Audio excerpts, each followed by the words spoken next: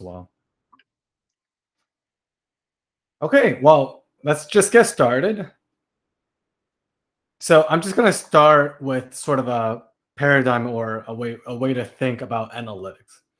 If you could go back in time 5 to 10 years, would you try to spend more time and resources helping your organization invest in and prepare for the internet? Well, the answer probably is going to be yes, of course. The value of analytics and data science will rival that of the internet. So while internet, we all know now is very valuable and provides a lot of uh, information and value for our for all everybody, all different organizations. Um, analytics is one of those things that's also going to provide just as much, if not potentially more value. And you can talk to you know academics or industry practitioners, and for the most part, people agree with me. Well, over the next five to 10 years, as analytics and data science as a function becomes more and more mature, winners and losers in different industries will be a lot more apparent. And it's sort of an arms race right now of the top people within the industry who's trying to get better and better into data science and analytics. And pretty pretty soon, you know, we'll start seeing, if not already, a lot of the value and the gap between number one, number two, who are proactively investing in data science and analytics versus people who are not at all. So today we're going to talk about the four initiatives in retail and wholesale when it comes uh, and ecom excellence through data and analytics. We're going to first talk about a bit of an intro on sort of our philosophy on what analytics is, and then we'll just sort of jump right into the four initiatives.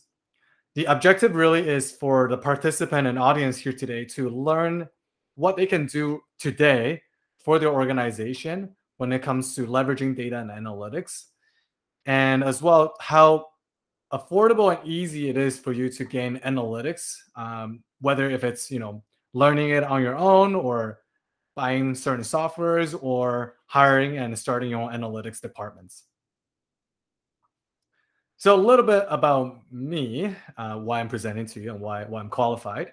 So my education background, I did three degrees at Western and Ivey Business School. So I did a business degree, I did my economics degree where I focus on econometrics, economic development, as well as uh, financial economics. And I also did my master's of science in data analytics at Ivey. I started my career in analytics at PwC's Analytics Consulting, but soon after started decided to start my own company. And that was about five years ago. And we've done a ton of different analytics projects, everywhere from manufacturing, where we're working to build analytics infrastructure for big companies like Honda and Toyota, to various nonprofits. We work with Toronto General Hospital, uh, University Health, Net- Health Network. We also work with a variety of different e-commerce, retail, and wholesalers, and that's why we're speaking with you today. We work with real estate companies. We also work with other uh, fleet management, logistics company, and all kinds of different analytics projects. And as you'll see throughout the presentation, I am very passionate about analytics and data science and bring the value of analytics to the general public. I've been teaching statistics, analytics, and data science and economics for more than 10 years now and I've actually taught the Masters of Analytics program at Western Ivey. I was a I was a lecturer there. So on the less uh, professional side, a little bit more fun side, so you can get to know me. Uh, I'm a big coffee uh, enthusiast. I went to Italy to learn how to make coffee. There's a picture of me on the left. Uh, on the second picture, it's me on a Yamaha R6 on a racetrack. I'm a, I enjoy riding motorcycles. Uh, the third picture, Advanced Analytics and Research Lab, is a company I started, and where I am very proud of the team that the team that we have and, and the type of work that we do. And on the right, there's a picture of me volunteering. I'm a I'm a big advocate for um, just general philanthropy work. I, uh, I try to volunteer once a week. I currently volunteer at a children's program for a women's and children's abuse shelter, domestic abuse. So Advanced Analytics and Research Lab um, just a quick background. So our philosophy, first off, we're a hybrid services and solutions analytics company. So we both have internal software and algorithms we apply to our clients, as well as we provide sort of consulting and services on a one-time or on a uh, on a recurring basis to our our clients. for us, analytics and data science, is not just a department, it's not just a profession, but really a mindset and problem, sol- problem solving methodology. And we use it to achieve excellence, whether if it's to continuous improvements or to really make better decisions all in all for an organization. And we really do believe it should be available to everyone. And really, our mission statement is democratizing analytics. So, as I said, you know what we do: analytic solutions, consulting services, and education. And we really want to provide organization the fastest and easiest way to gain full analytics capability. And our most popular sort of service that we offer, sort of for, for the price of one analyst, you can get an entire specialized analytics team. So jumping right into sort of our philosophy in analytics, um, breaking it down a little bit more, and we'll keep sort of peeling back the onion as we go through this hour-long, uh, well, 45 minutes webinar. So first off, there's two distinctions I want to make right off the bat. Analytics that supports core business. So typically in a sort of industrial or um, industry analytics, you're looking at analytics that supports various functions. So you have marketing analytics, you have finance analytics, you have HR analytics, and, and much more. So the analytics is supporting core business functions through a variety of ways. Uh, uh, automation and data, continuous improvements, better decision making, recurring reporting analysis, things like that. There's also analytics that is being offered as a core business and the way we approach both of those are very different from both the methodology, methodology, and technology perspective. So you could, as a retail, wholesale, e-commerce uh, provider slash platform person, provide to your own clients different analytics. And we've seen this in ways such as, hey, I'm a I'm a retailer and customer order um, products from my website. I'm providing detailed analytics on, for example, uh, estimated delivery dates and you know what other analytics, uh, sorry, what other products people are also buying. So sort of the recommendation engine that you see on Amazon and things like that. There's also certain things like web application. So on your website, perhaps you're actually providing analytics for your customers so that they can, you know, uh, add value or have better information when they're making their purchasing decision. And there's a lot of different creative use of that. Now, to further break down analytics in retail, wholesale, e-commerce, I'm going to look at analytics topics. I'm going to look at retail, wholesale, e-commerce topics.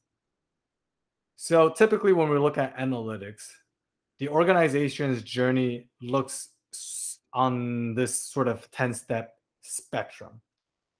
So um, actually, before we jump into that, uh, Mikey, maybe just launch the poll so we can have um, sort of an understanding of what everyone here is in terms of their uh, functional roles. Sure. Um, so the poll should be up now. Um, if you look at the bottom right, there's a little activities icon, this the square triangle circle um, just click in there and you can answer it. I'm just going to give everyone 20 seconds to participate. We see management, we see some marketing or management.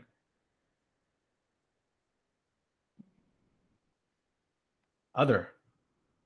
Oh, two others. Three others. uh, for those of you who put others in the poll, maybe put on the chat uh, what business function are you in? Just taking a look.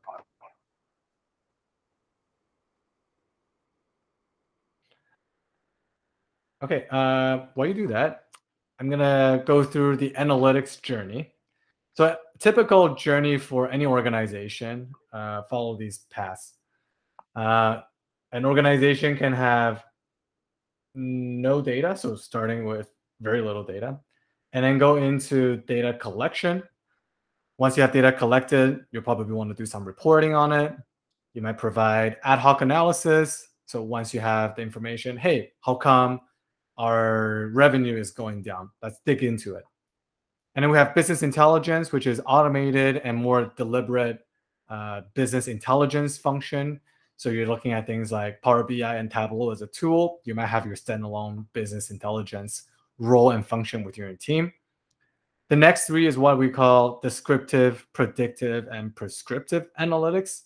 So advanced analytics, uh, descriptive, you're looking backwards, predictive, looking forward, prescriptive, what is the best course of action from a optimization and numerical standpoint.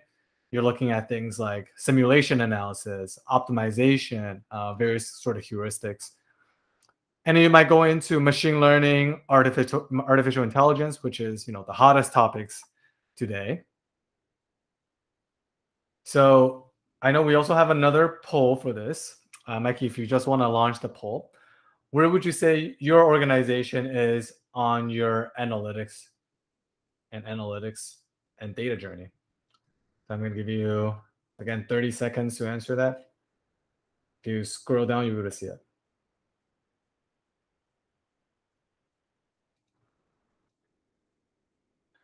So as you do that, just from our perspective, obviously we talk to hundreds of different organizations regarding their analytics. Most organizations are still in sort of the first third, where you have you know data collection and some ad hoc reporting. A lot of organizations today are investing heavily into business intelligence and sort of more basic data science uh, functions and roles. And in the future, we're looking at a lot more sort of automated intelligence, predictive analytics, and prescriptive analytics.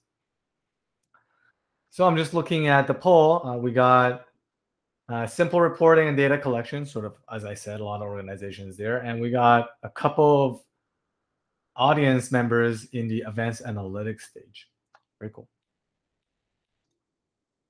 Okay.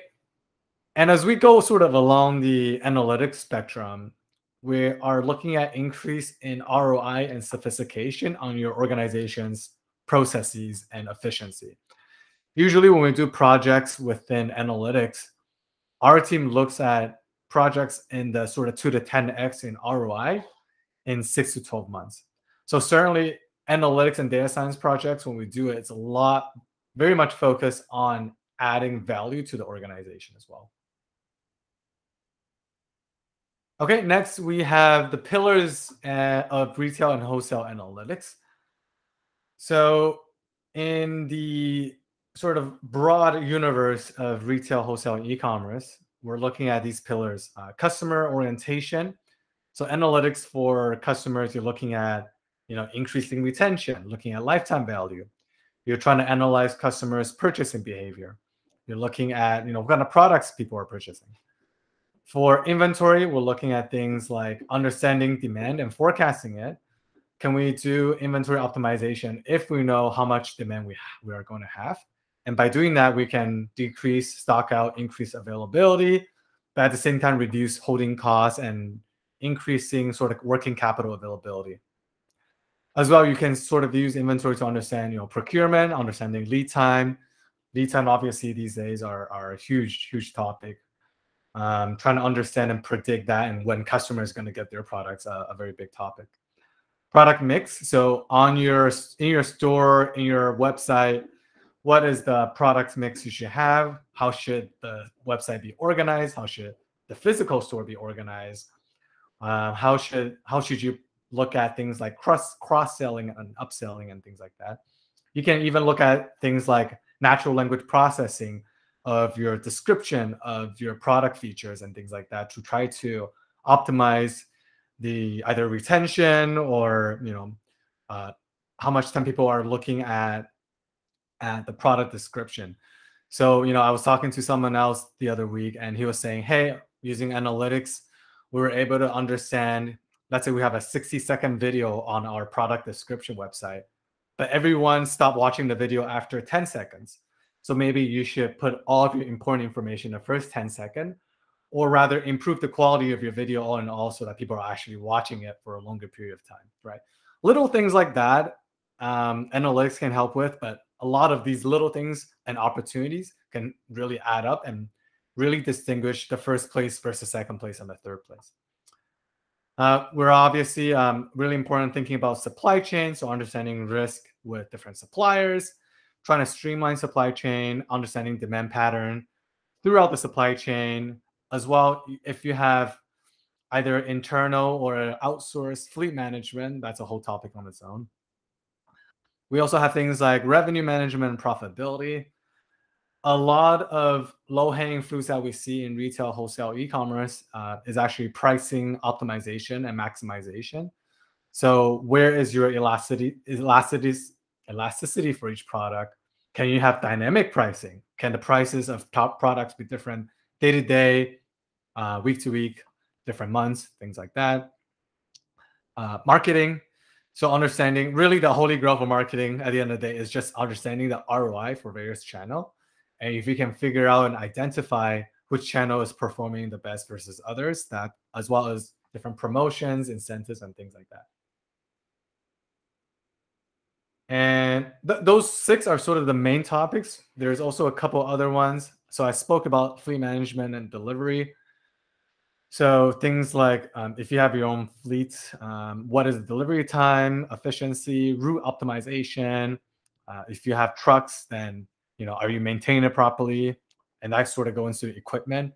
If you have equipment within your warehouse, how much are you spending on it? What is the health of each equipment?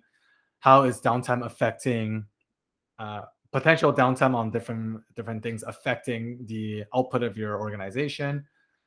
And then we also have people, so scheduling, uh, understanding safety, understanding efficiency, morale, uh, engagement, uh, as well as uh, safety as a whole, long-term, short-term, uh, preventions, reporting, understanding root causes of safety incidents, and things like that.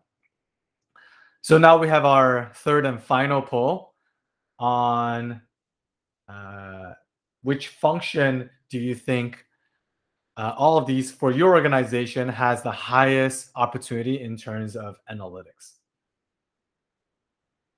So we have sort of all those different pillars. If you can take another 10 second to vote on that.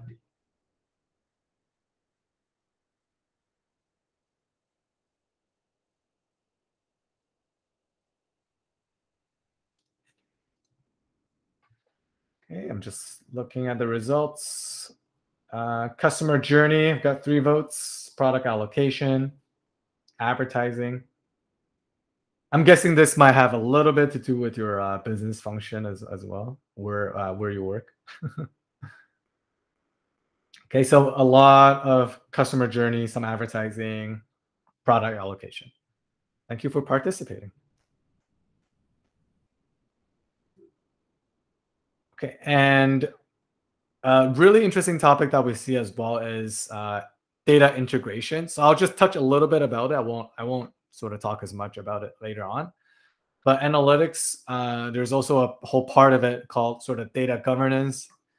Uh, and there's a really popular thing these days called data warehousing or uh, cloud storage and things like that, or center of excellence. But essentially, a lot, a lot of organizations realize they have a lot of silos within their organization when it comes to information, reporting, and data.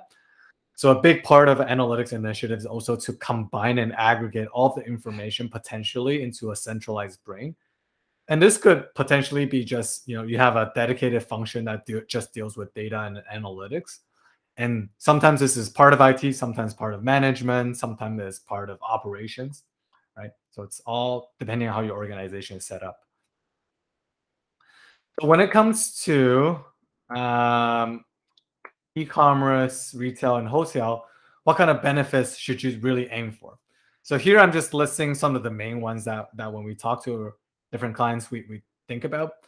So a uh, 50% or more decrease in data and information errors, uh, 50% or more decrease in time spent on manual data and reporting tasks through automation, a more than 5% increase in customer acquisition, retention, or loyalty through personalized messaging, services, or recommendations, a greater than 5% increase in revenue through pricing optimization, a greater than 5% increase in ROI on marketing through spend allocation or even you know, product allocation, more accurate inventory optimization and sales forecasts, which leads to you know, um, more than 5% increase in revenue through lower stockouts and better availability, and a more than 5% increase in working capital availabilities. Obviously, these are sort of quite generalized. It really depends organization to organization where the low hanging fruits are. But if you just take a moment and think about, hey, like for my organization, of all these different values, where are we sort of a little bit behind and where do you think a lot of opportunities might be? That may be a useful exercise. How do you find value when you don't have a use case? Well, number one is just increasing sophistication for employees, right? And often, you know, things like this will happen. So employees will say, Hey, I don't really know what happened to, hmm, I think this is what happened to, Hey, I know this happens X percentage of time to, Hey, I know X percentage of time. If I do this, the outcome will be this, right? So you're really going from, you know, um, lack of information and certainty to really understanding what your universe and your decision sets are. Automation, uh, getting more real time. So going from monthly reporting to weekly reporting to daily reporting to even hourly information. It'll give you better and faster reaction as well as feedback, as well more time. So automating report, uh, repetitive tasks helps you get time back. Finally, reactive versus proactive. So some problems you can try to solve before they happen, and the rest you can prepare for. So I just want to go through really quick two use cases uh, that we've actually worked on. So we had an e-commerce retailer. They have uh, inventory procurement that they're really just doing on the Excel sheet. So they have a few thousand actually SKUs that they're selling on different e-commerce platforms and websites they wanted to stop uh, and actually try to understand how much money and revenue are they losing by not having inventory at the right time at the right place. So we created a sort of a feedback loop as well as an inventory optimization system using a fairly simple sort of methodology called a EOQ, economic order quantity, and then sort of building on top of that, along with uh, AI forecasting. So we use a machine learning forecasting to create sort of a real time dashboard so that people can say, hey, I go on a dashboard. I know here are the top 10 SKUs I have to look at this week because they're either going to run out of time over the next eight weeks, or hey, it's already too late. I really need to increase my spend or increase the shipment speed for this supplier right here we're able to successfully sort of help them reduce costs and streamline first off the procurement and inventory optimization functional process but also help them decrease stockout and increase revenue. We also help them build a sort of pricing optimization system that's dynamic uh, day-to-day dynamic pricing system and really help them increase their revenue by sort of more than 10% we have a, another organization that we work with. This is an industrial wholesaler that again has more than i think it was like 3000 skus uh, we help them primarily with pricing, but also along with pricing, there's also inventory optimization. We use uh, OLS regression to understand elasticity.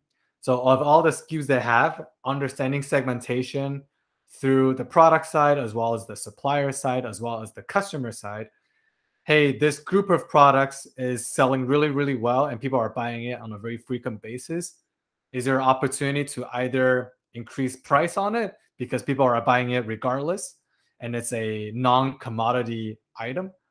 Or is there an opportunity where you can reach out to your top 20 biggest clients and say hey because you are our top 20 biggest clients let me give you a little discount maybe or if you if you're able to buy more from us we can give you a, a little bulk bulk discount and things like that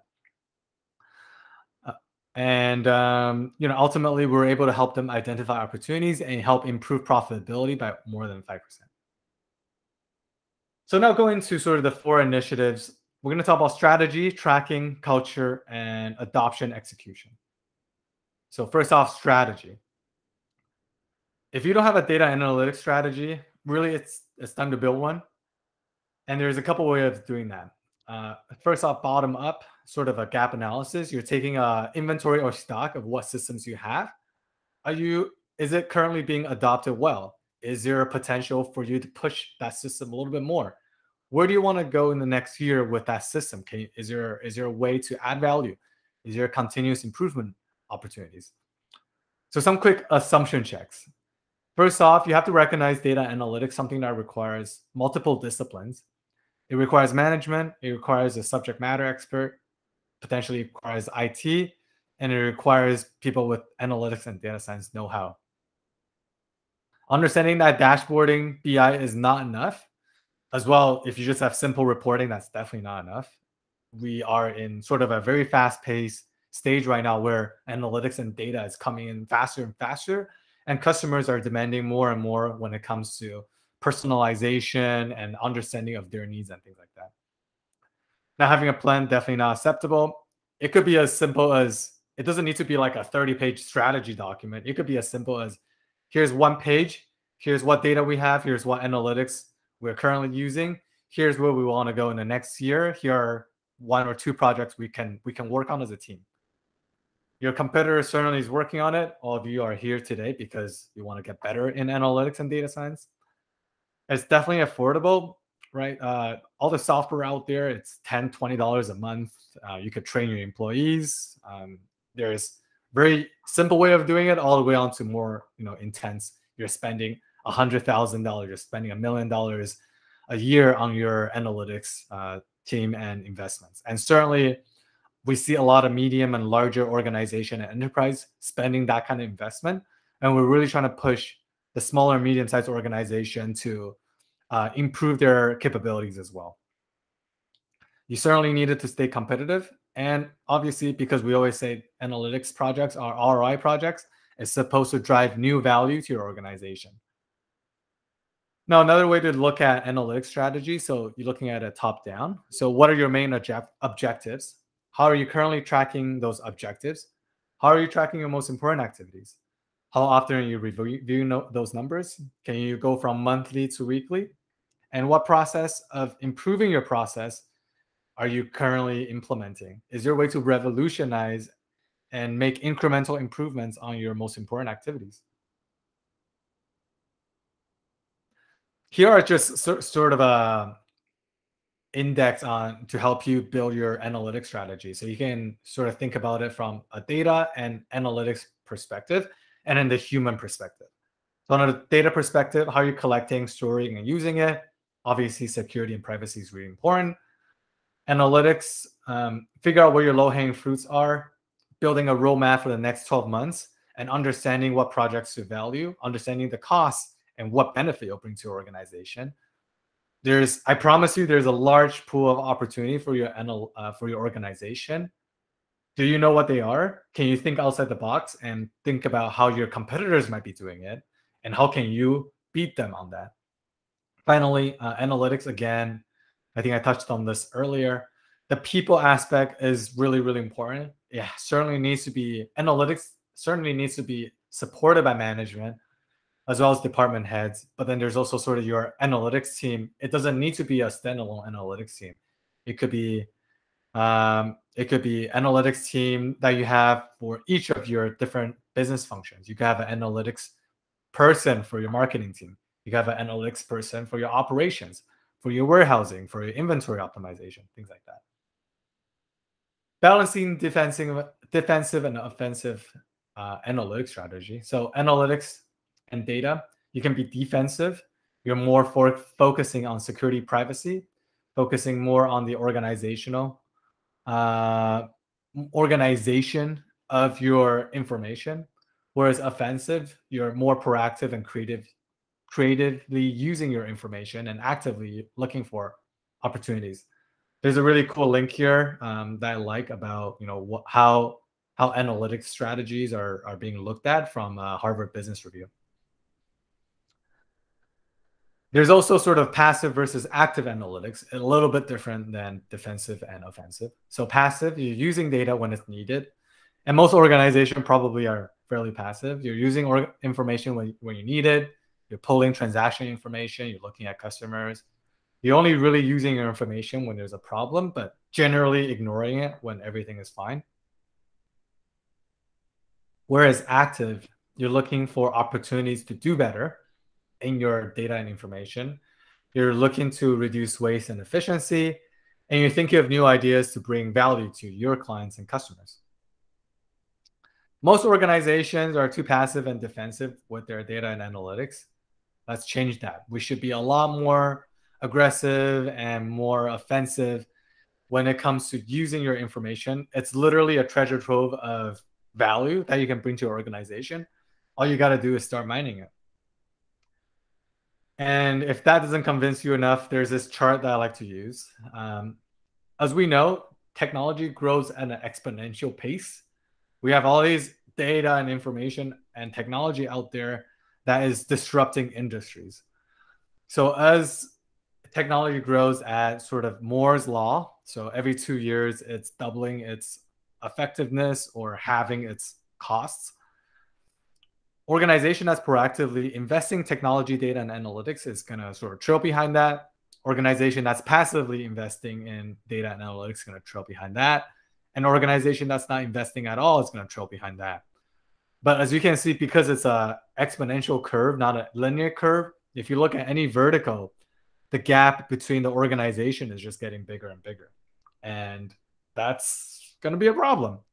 You definitely want to be, if not cutting edge, trying to trying to stay on top of technology and data science for your organization.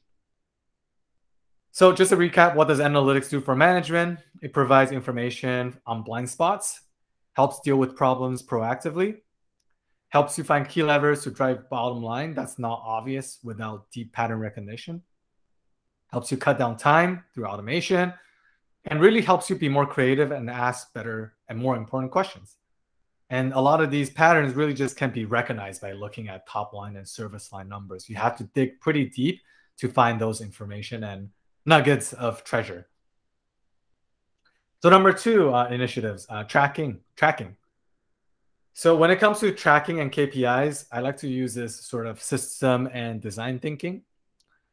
So really simplified, almost all of your activities within your organization are either linear or circular. And so I'll just explain that a little bit. So linear, you have information coming in or a product coming into your warehouse. Some processing happens and then some products going out. Uh, it could be production lines, it could be accounting systems, it could be management systems, right? You have input, something happens, output. And then we also have circular, which is more of a feedback loop. So, as an example, let's say we have quality assurance. Uh, the quality assurance looks at a problem area, suggests a program or a change in standard operating procedure. Something else happens, and then sorry, no, uh, and you run it, you test it, uh, you you collect the results, you look at the results, and then you make more changes. So that's a feedback loop. But certainly every steps process activity, every step has input and output. And a lot of the time organizations are only measuring output and they will say things like, hey, our organization sometimes a little bit of black box. I don't really know what's happening in between what is the exact cost, right? I don't know how much time it's costing me to ship to US versus Canada. We sort of just do it all in one one shot within within the team, things like that. So certainly starting with output is the fundamental. Then you got to start breaking down the input and the process and how you're breaking there. Are you ever are you able to measure cost and efficiency of the stuff in the middle? Are you able to measure cost and efficiency of the input as well? There's also recognizing a lot of different ways to measure the same thing. Sometimes different company in the exact same industry will measure the same thing differently. Sometimes different departments within an organization will measure different things differently. It's not saying, you know, one way is wrong or the other way is wrong or right. People have different perspectives and there's reasons why they measure certain things in different ways. And it's really important, especially if you're in management or, or have a higher level view of things, to try to understand that. Now, the typical progression of your KPI reporting, I'm going to say this sort of five steps here. You have high level tracking. So most organizations are probably here. You're tracking deliveries, you're tracking your customers' lifetime value, you're tracking your inventory levels and days. The more granular you can get, the better. You're reporting on it on a monthly basis, on a weekly basis, on a daily basis. You're looking at trends, month to month trends, week to week trends.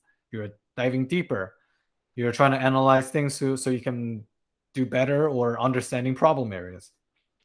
You can start aggregating in this third step your information. So you can aggregate your transaction information with your accounting information, with your inventory information, with your warehouse information, right? You can start adding all of them together.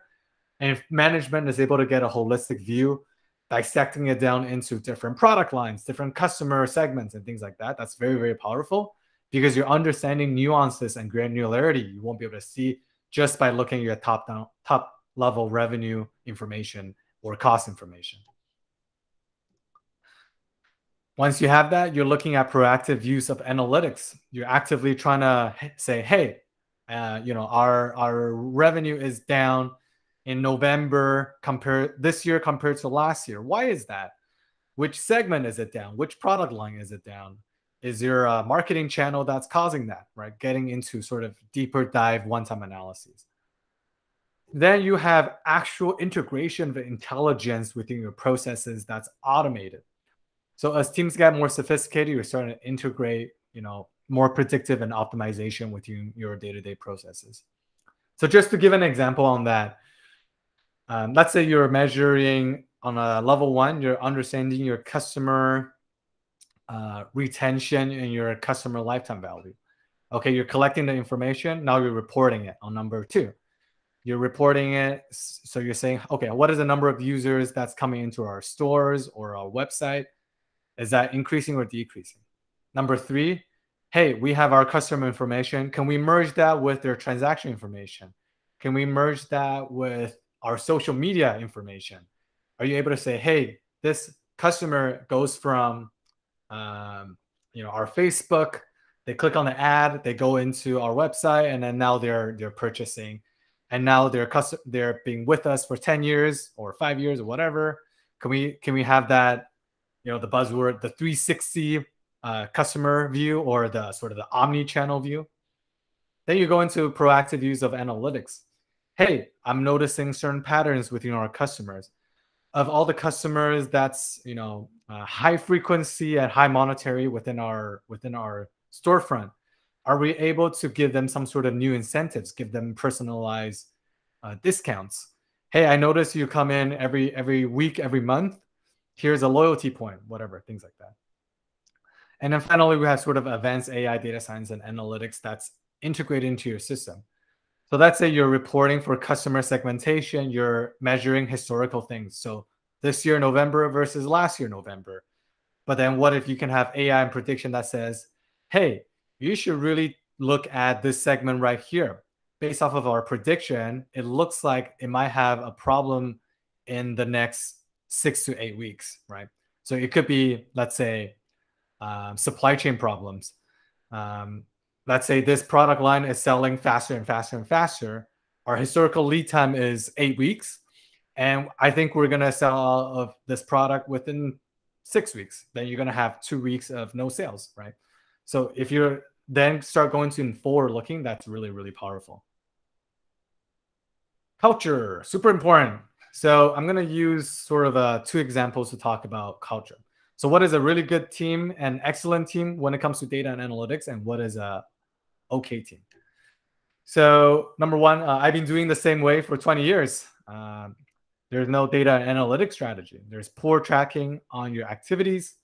There's unstructured and unorganized reporting. There's a bunch of spreadsheets or data or systems spread in multiple locations and stakeholders.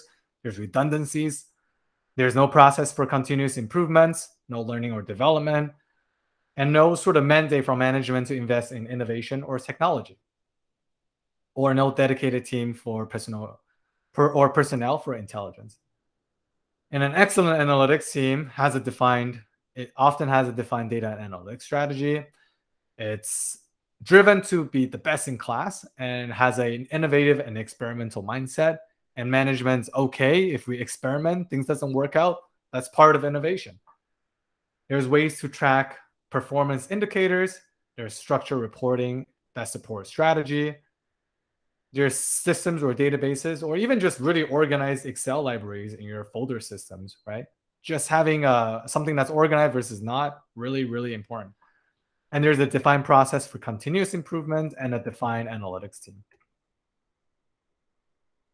Okay, now we're looking at okay versus really successful analytics project.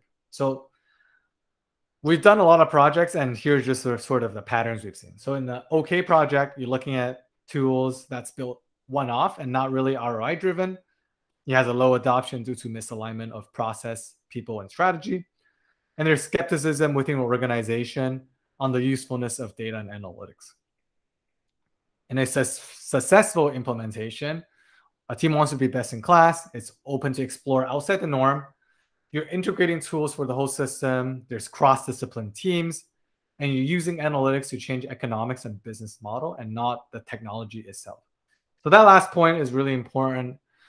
The really, really successful project we see is analytics and data science and technology project that fundamentally change how an organization look at a sort of a traditional business process. So we have, as an example, um, a traditional way of looking at pricing.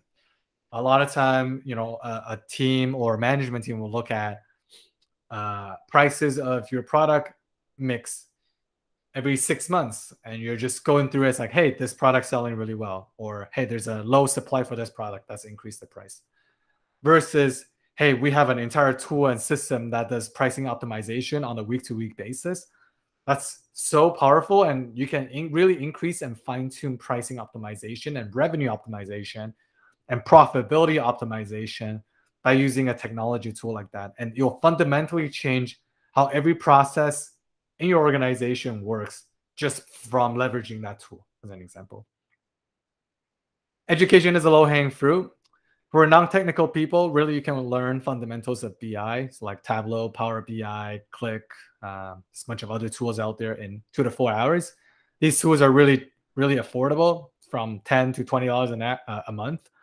You can learn the basics of R and data science in maybe eight hours, the the fundamentals. And if you don't know Excel, well, you should really know how to use Excel. But ultimately, never stop learning. Technology is moving so fast Understanding the fundamental and structures of analytics and data science will help speed up learning exponentially. Really, if you have if your career within if your career still has, you know, 20, 30, well, even 10, 20, 30 years left, you should really learn data science and analytics because that's really the future. And you you know i don't think any any management team would, would doubt that. Finally adoption execution.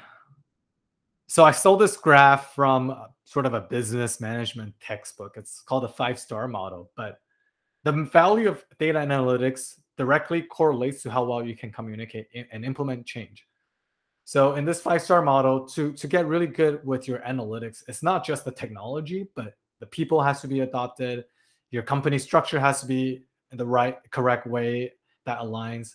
Your your objectives is aligned. Your process is being updated your systems, you know, uh, being continuously improved on. You really have to get buy-in in line with organization goal and strategy for analytics to really have its full potential. Typical process flow in analytics lifecycle. So usually start off with discovery, and this is sort of an agile collaborative learning exercise. You do discovery, you try to understand, okay, here are some problems we have within the organization here's how analytics might apply. You're presenting the information, you're making a decision. You start developing and experimenting on those tools. You're implementing those tools, you're creating a recommendation, and then potentially, if it's a productionized system, there's a support and maintenance involved. Okay, finally, I'll just talk a little bit about common pitfalls and how to avoid them. First one, uh, BI tool is built, but no one's using it. A, make sure the tool is built with a problem in mind and that it's actually integrated into a standard activity. Those standard activities are there for a reason. If you can make it more streamlined, then it's a lot higher likelihood that your BI initiative will have a success. Number two, uh, decisions are made and then analysis are made to justify. So I don't, I don't know how many of you have this experience where your boss might say, "Hey, uh, I want to do this uh, with our uh, advertising spend. I think this is what we should do. Can you just run some analysis to help me support that decision? Well, and that's sort of a backward looking thing, right? Analytics is supposed to help you be objective with the information. So certainly uh, if you're a data analyst or you're trying to present the information, be as objective and unbiased as possible and recognizing what biases you might have and point out points of consideration or counter or um, you know pros and cons of different arguments over engineering so most business problems are actually pretty simple to solve from a sort of one-to-one perspective. There's no need to, and this is sort of a joke, there's no need to build an optimized simulation model with stochastic forecast. Start simple, build a framework, and then you can add on complexity uh, if you really lay out the foundation correctly. Uh, and then there's a lack of understanding in data science and analytics as a function. Sometimes people almost look at it like like uh, like magic, right? how how could analytics provide an outlook on the future that's 99% accurate? That's impossible, right? Uh, so certainly engage in cross education, training, and collaboration. Being able to have a conversation and recognize the importance of understanding in analytics from top to bottom. So before I close off and open things up for Q and A, I'm just gonna have a uh, a quick sort of summary. So Advanced Analytics and Research Lab, we really are here to help organization from small to big with analytics projects. We do analytics services and solutions from a few hundred dollars a month to tens or hundreds of thousand dollars a month. But certainly, you know, depending on where your problem sets and opportunities are, we help uh, help you with that. We want to provide affordable analytics Please help us. Follow us on LinkedIn, Facebook, Instagram. Tell your coworkers if you know anyone that might be interested in analytics. We're always happy to chat, both myself and uh, Michael, who's on the call. Um, and if you're in GTA Toronto, um, we'd love to you know grab a coffee with you. So with that, I'll close off and do a quick Q and A. Thank you, Eric. Uh, I know there was one question um, from Manny earlier in the uh, in the presentation. Um, Manny asked, "What's the benefit? What's the main benefits for D2C brands with a Shopify website when the platform already provides analytics? Um, also, in relation to social media, how could this service help with UX or product development versus the native analytic tools?" for example, social analytics, Sprout analytics, Shopify analytics, Google analytics. Thanks, Michael. Hey, man, thanks for the question. So that's a uh, that's a really interesting thing, right? A lot of time we actually get that quite a bit. Um, you know, we talk to people and say, "Hey, like, you know, what are you doing with your analytics?" And they say, "Yeah, we already have analytics. We have Google Analytics. Our system provides reporting that we can use. We have lots of analytics in all these different systems. The problem is, you know, we can't really aggregate them or, actually have time to look at them, right? So I think really two things. One is um, analytics, just because the information is there, a lot of time organizations are not, are not proactive enough to actually dig into it and actually leverage the information and mine the information. And we hear this obviously all the time. Everybody's really busy. Um, there's a lot of challenges and day-to-day problems you got to deal with. But how do you get away from the day-to-day challenge and think strategically and think innovative innovatively so that you can bring the you know better decision making or better uh, build build out better sort of analytics products for the end user, whether if it's internal or external. Uh, the other thing is um, typical sort of business analysts or management team, they're usually focusing on sort of business challenges and they're looking at, because they have a lot of things to do, they're looking at top line information. Analytics, data science, when you get into the more advanced phases, you're looking at a lot more granular things and you're digging into it, things that could take weeks, months to actually analyze and you're potentially building models to automate your your processes and things like that. So there's certainly a lot of benefits um, just even even if you have analytics reporting within your systems there's still a lot of benefits that a lot of traditional businesses are unable to see. But if your organization already does that then it's great right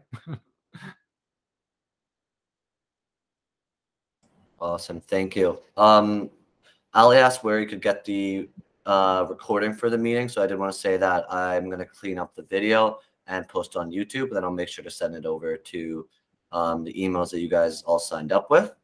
Um, and then we have another question. how do you ensure that the management as well as employees um, who execute align with the analytics strategy? Yeah, uh, that's a great question. Certainly, as I mentioned in the slide, is it is very very important to have alignment. So, two things. One is it's kind of cliche, but communication, right? So, if you're having an analytics initiative, understanding it is a cross discipline team, and you have to make sure you're pulling the right stakeholders together, right? So, let's say you're you're an analytics person within an organization and your boss who is the ceo tells you hey please go and understand uh, our advertising roi and provide me with reporting and analytics and some recommendation on how we can do better right? Fairly standard ask. If you just like pull the information and analyze it on your own and give a report that's not going to be effective. You have to make sure you're talking to the the people in the marketing team. If there's an outsourced team that also provides ad spend, uh, ad spend allocation, things like that, or advertising design team that that is helping the organization think about branding and design, you have to make sure you talk to all of them because there are a lot of then deeper questions you gotta think about, and you also can really implement your recommendations if you don't involve the advertising team. And then the other thing I do want to say is, um, you really can't get deep enough if um, your your organization is, is silo when it comes to analytics. And there's a lot of different ways you can think about that. Um, so when it comes to the teams there's like centralized team versus decentralized team versus federated teams or sort of a hybrid approach. So centralized team you have sort of a, a analytics team that everybody comes to and they're sort of like consultants. A decentralized team is like each individual department will have their own analytics individual that they help. So marketing analytics person, uh, inventory optimization analytics person. And there's a hybrid where it's like sort of like an in between where you, there's a centralized team, but then they loan out people to the different departments. Awesome, thank you. Um, yeah, I think we still got a few people on here, and we got a question. Um, what percent of consulting from RL is dedicated towards advanced analytics, such as forecasting sales and category optimization? If yes, when and what tools do you use to carry out these processes? Yeah, um, I mean, it really depends because it depends on what kind of client work we're, we're, we're doing at the time. I would say majority of the time, sort of more than 50%, we're working on advanced analytics. So, like optimization, forecasting, building probabilistic models for nonprofits, um, pricing optimization systems, things like that. But also understanding in order to build those tools, you have to have the systems and data in a certain structure that's clean so that the data scientists can actually do that so sometimes we will have to do that cleanup. And the typical things you hear is, you know, 80% of a data science project, you're actually setting up the data and the structure itself. And there are certain times where we're actually working on like bigger like data governance project. So we're doing a really big project with an auto manufacturer. They have three factories here, and um, we're helping them build a data governance. So we're pulling all the data together into a centralized location. We're building daily automation and reporting that does that. So quite mixed depending on the project we are working on.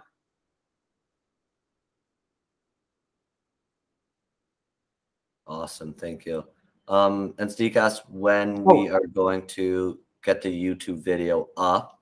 Um, should be, I'll try and get it up later today even um, and send the link to you guys. Thanks, Michael.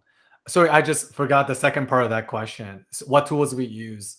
So typically we work with whatever our client is comfortable. We're fairly tool agnostic. So every organization have different databases. Even the same organization, like even like let's say people who uses Shopify or Amazon or Home Depot, whatever they all have like the standard tool that they have, which is um, platform dependent. But then they'll all use different tools, and they'll all use the tools a little bit differently. So even if it's the same database, a lot of times we're actually having to work with that database in a different way. So it's not like a copy and paste. When it comes to BI tools, typically we're using Power BI or Tableau or Qlik. Again, depends on the preference of the clients, whether they have already Microsoft Azure services or if they are a Tableau shop or a Qlik shop. On the advanced analytics side, again, depends on the tool, but if we're doing custom coding, we're doing it either on uh, Python or R, and there's a lot of tools within that.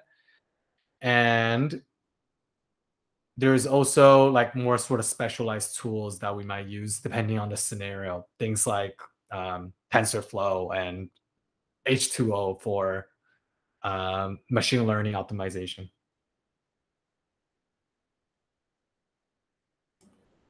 Great, thank you. Um, and oh yeah, so yeah, um, another question about how we can connect for further conversations. Yeah, I have um all your guys' emails, and I'll send a follow up after if you have any more personal questions um about your company or what you're working on. I'm sure Eric and I would love to meet, uh, hear about kind of your challenges, see if we can solve them, and just have a conversation. So definitely open to that. Thanks. Um, is there anyone else who might uh, have a question or?